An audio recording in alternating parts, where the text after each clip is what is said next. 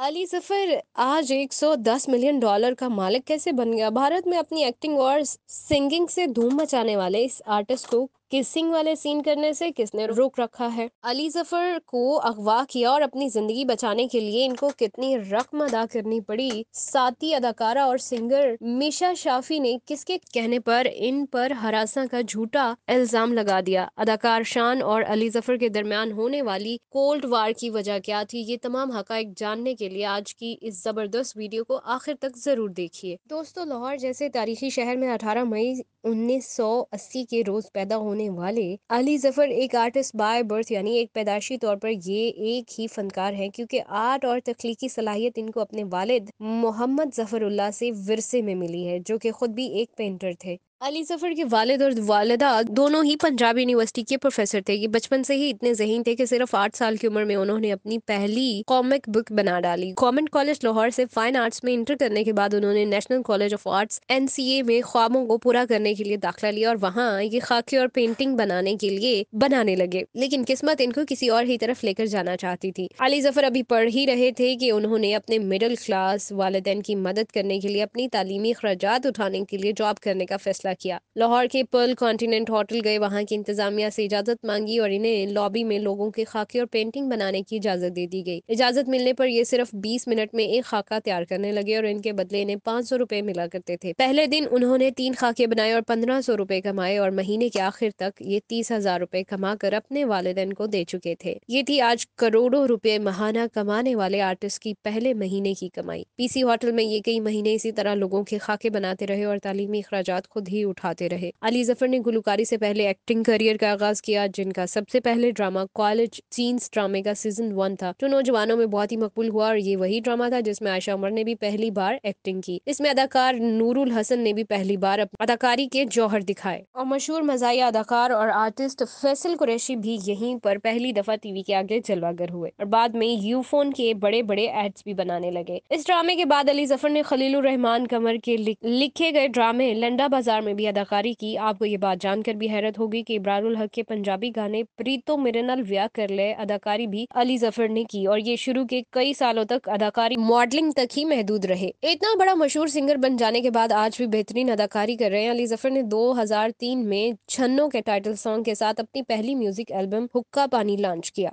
जो कि इनकी तो से बहुत ही ज़्यादा मशहूर हुई और इनकी वर्ल्ड वाइड पाँच मिलियन यानी कि पचास लाख कॉपीज फरोख्त हुई, जिस पर इनको तीन बड़े अवार्ड भी मिले। लेकिन आपको ये बात जानकर हैरत होगी कि छन्नों के सॉन्ग से रातों रात शोहरत की बुलंदियों को छूने वाली इस आर्टिस्ट का पहला सॉन्ग जुगनुओं से भरे आंचल था, जो कि इतना मकबूल ना हो सका। और इनकी नई एल्बम की वजह से इनको 2004 में लक्स स्टाइल अवार्ड भी मिला। अब तक ये तीन स्टूडियो एल्बम्स और तीन साउंड स्ट्राइक एल्बम्स भी लॉन्च कर चुके हैं। पाकिस्तान की सुपर प्रीमियम लीग पीएसएल के लिए ये टाइटल सॉन्ग भी गा चुके हैं, जो की बहुत ही मकबूल हुआ। और आपका पसंदीदा अली ज़फ़र का गाना कौन सा है, कमेंट में लिखकर हमें ज़रूर शेयर कीजिए। अपनी गुलकारी करियर में ये बहुत जल्दी रातों रात सूरज की बुलंदियों पर जा पहुँचे। करोड़ों रुपए कमाने लगे एक रोज अपनी पहली मोहब्बत और अपनी होने वाली बीवी के साथ ये डिनर करके वापस आ रहे थे। इनको चौक चबुर्जी लाहौर के पास कुछ लोगों ने अगवा किया। ये वाक़ 2008 का है और इनको अगवा करने वालों ने इनसे बड़ी रकम का मुतालबा किया। अली ज़फ़र के वालदेन को कॉल की और पैसे न देने के नतीजे में इनको मार देने की धमकी दी। लिहाजा चंद ही घंटों में पच्चीस लाख रूपए कैश अगवाकारों को दे दिए गए। अली ज़फ़र की कार और मोबाइल भी वो लोग ले गए। पुलिस ने इस वाक़े का मुकदमा दर्ज तो कर लिया, लेकिन आज दो 2024 तक ना तो इनकी कार रिकवर हो सकी और ना ही अगवाकारों के बारे में कुछ मालूम हो सका है कि वो कौन थे। बहुत ही कम लोग ये बात जानते हैं कि अली ज़फ़र मिस्टर आमिर खान के रिश्तेदार हैं। इनकी बीवी आयशा फाजली बॉलीवुड एक्टर आमिर खान की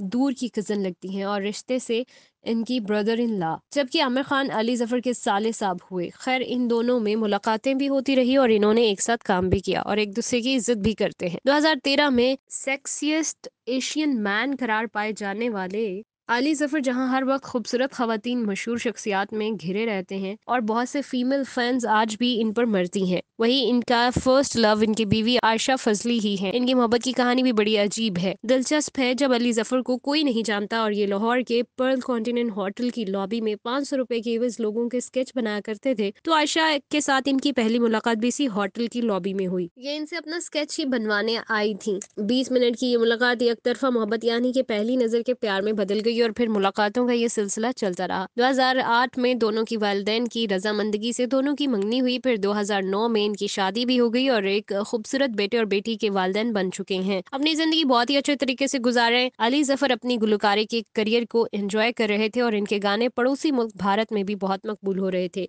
और इनको बॉलीवुड फ़िल्म की ऑफ़र भी आने लगी। उन्होंने दो हज़ार दस में तेरे बिन लादन नामी एक फ़िल्म से अपने फिल्मी कैरियर का आगाज़ किया और इनकी पहली ही फ़िल्म हिट गई। इस फ़िल्म को पाकिस्तान में दिखाए जाने पर पाबंदी लगा दी गई। इसके बाद उन्होंने 2011 की फ़िल्म मेरे भाई की दुल्हन 2012 की फ़िल्म लंदन न्यूयॉर्क पेरिस 2014 की फ़िल्म टोटल स्यापा और 2016 की फ़िल्म डेयर ज़िंदगी जैसी कामयाब फ़िल्में बॉलीवुड की मशहूर सेलिब्रिटीज के साथ काम किया है और अपनी एक्टिंग के जौहर दिखाए।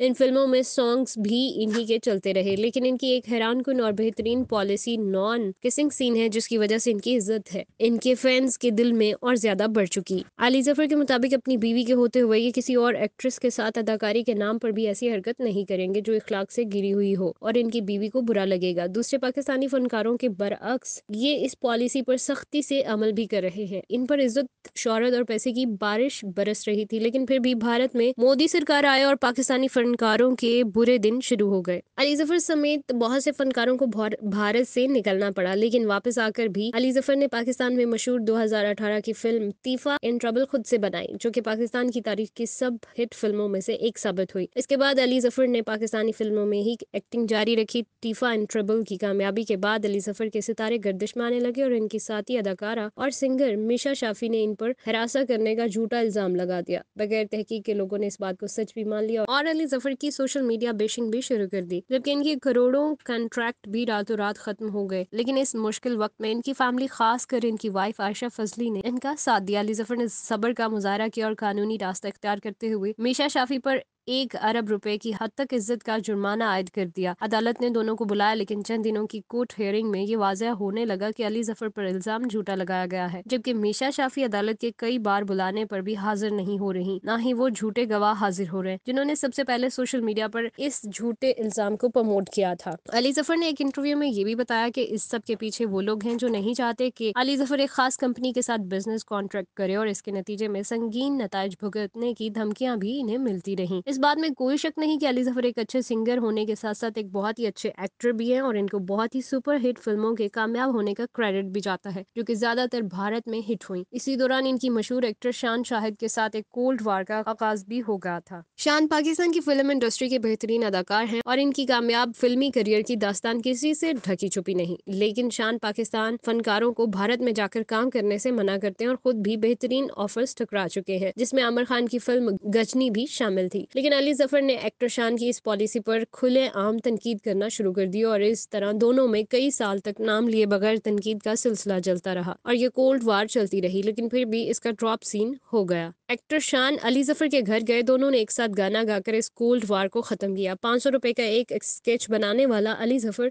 अपनी मेहनत और लगन की वजह से करोड़ों नहीं, बल्कि अरबों रुपए का मालिक बन चुका है। इनकी नेट वर्थ 110 मिलियन डॉलर तक जा पहुँची है। लाहौर की एक मॉडर्न सोसाइटी में इनका शानदार दो कनाल का बंगला है, जो की चालीस करोड़ से ज़्यादा मालियत का है। इसी के साथ एक दूसरा जुड़वा भी बंगला है। इनके आर्टिस्टिक माइंड सेट के साथ ही बनाया गया है और इनकी गाड़ियों की बात की जाए तो इनके पास दो मर्सिडीज मर्सिडीज बेंस और एक इनकी लाडली लाल फरारी भी मौजूद है। और ये पूरी दुनिया में अपने काम के सिलसिले में घूमते फिरते नज़र आते हैं और अपनी फैमिली के साथ वेकेशन भी गुजारते नज़र आते हैं। आजकल ये म्यूज़िक पर भी दिलचस्पी के साथ काम कर रहे हैं और इनके गर्दिश करते सितारे फिर से ठीक सिमत में चलना शुरू हो चुके हैं। दोस्तों 2005 में इनकी म्यूज़िक एल्बम हुक्का पानी को बेस्ट इम पोप म्यूज़िक का अवार्ड मिला, जबकि इनको पाँच गैलेक्सी अवार्ड और एक बेस्ट लीडिंग एक्टर का अवार्ड भी मिल चुका है। इसके अलावा ये बेस्ट प्लेबैक सिंगर का अवार्ड भी जीत चुके हैं।